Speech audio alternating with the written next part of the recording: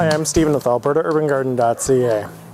One of the first lessons most new gardeners learn, usually the hard way, is that growing plants outside of their growing zone is very difficult and requires either a ton of work or in extreme situations simply fails.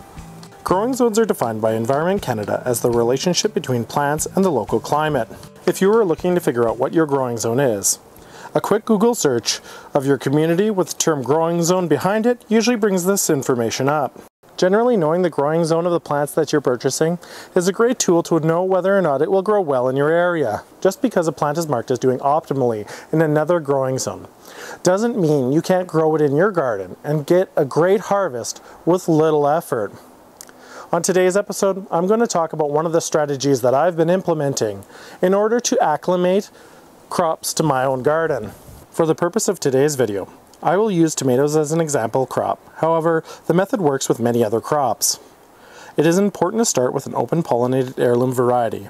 Crosses or hybrids are not stable enough year after year, and you will likely end up with inconsistent results. For some tomato varieties like the pink brandywine that I enjoy, the season here is simply not long enough.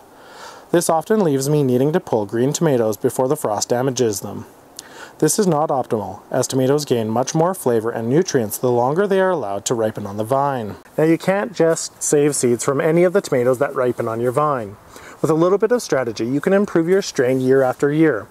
Let me show you how I do it. Start by identifying the challenges that you face with a particular variety that you've chosen. This method can be applied to things like blossom end rot prevention, disease resistance, shade tolerance, and heat tolerance among many other characteristics. In order to improve the speed of the ripening tomatoes over generations, I save the seeds from the first ripe tomato of the year. Now I know this is hard as I really want to eat my first ripe tomato from the vine, but saving them is an investment in the future. By saving the seeds from the first tomato year after year, you will begin to get a plant strain that will produce ripe fruit faster. Now I mentioned earlier on that this process does take years, and it is a very old technique that humans have been implementing since the dawn of agriculture. It's taken crops like tomatoes that were once restricted to extremely small climatic conditions and have allowed humans to grow them all the way from Yellowknife to Melbourne. This method is called selective breeding, and best of all, it can be applied to more than one trait at a time. If you are in a race with a first frost and struggle with blight issues, you can select the first ripening tomato from the plant that comparatively did better resisting blight. For this type of selection, you will have to grow more than one plant of the same variety in your garden. There are other techniques such as crossbreeding that can allow you to achieve some similar results. When you use crossbreeding, usually the crop takes on a combination of the characteristics of the parent plants. You may lose your favorite variety.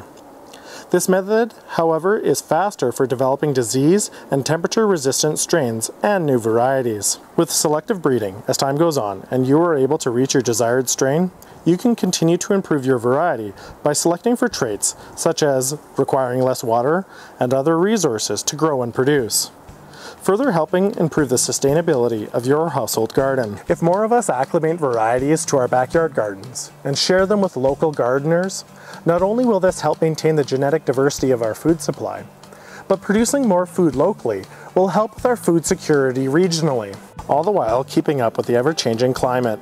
Thank you very much for joining me today. I appreciate it very much, and I hope you have a fantastic day.